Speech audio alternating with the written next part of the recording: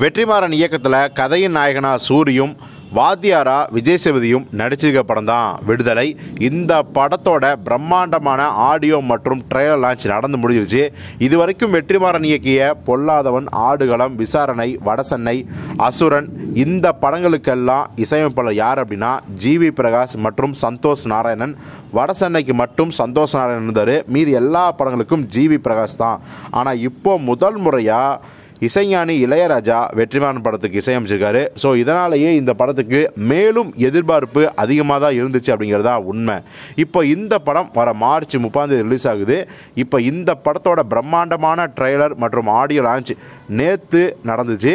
இந்த விழாவில் நம்ம இசைவாணி இளையராஜா அவர்கள் கலந்துக்கிட்டாரு ஸோ கலந்துக்கிட்டு வெற்றிமாறனை மிகவும் புகழ்ந்து தள்ளினார் அப்படிங்கிறதா உண்மை. அவர் வாயிலிருந்து ஒரு புகழ்ச்சியான வார்த்தை கிடைக்கிறது. நிச்சயமாக வந்து ஒரு குதிரை கொம்புன்னு சொல்லலாம்.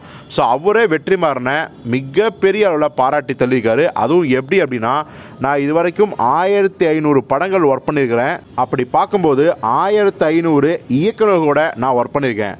ஸோ அதை வச்சு சொல்கிறேன் இது வரைக்கும் நான் பணிபுரிஞ்ச இயக்குனர்லேயே வெற்றிமாறன் ரொம்ப மிகச்சிறந்த இயக்குனர் அப்படின்னு நான் உறுதியாக சொல்கிறேன் ஆயிரத்தி ஐநூறு படம் பண்ணவன் நான் சொல்கிறேன் அப்படின்னா அப்போ வெற்றிமாறன் எந்த அளவுக்கு ஒரு மிகச்சிறந்த இயக்குனர் அப்படிங்கிறத நீங்களே தெரிஞ்சுக்கங்க. வெற்றிமாறன் தமிழ் சினிமாவுக்கு கிடைச்ச ஒரு அற்புதமான இயக்குனர் அப்படின்னு சொல்லி அவரை பாராட்டி தள்ளிட்டார். ஸோ இசைஞானி அவர்களே வெற்றிமாறனை பாராட்டி தள்ளதால கண்டிப்பாக இந்த படத்துக்கு ஒரு வேற லெவல் பிஜிஎம் மற்றும் சாங்ஸ்லாம் கொடுத்துருப்பாரு அப்படின்னு நம்பலாம். ஸோ இந்த விடுதலை படத்துக்கு இளையராஜாவோட இசையை எந்த அளவுக்கு நீங்கள் எதிர்பார்க்குறீங்க?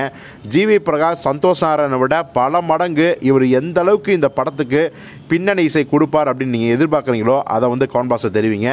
இனி வரும் வெற்றிவான படத்துக்கும் இசைஞானி இளையராஜா தான் மியூசிக் பண்ணுவாரா இல்லையா அப்படிங்கிற உங்கள் கருத்தையும் கவுண்ட் பாக்ஸில் மென்ஷன் பண்ணுங்கள்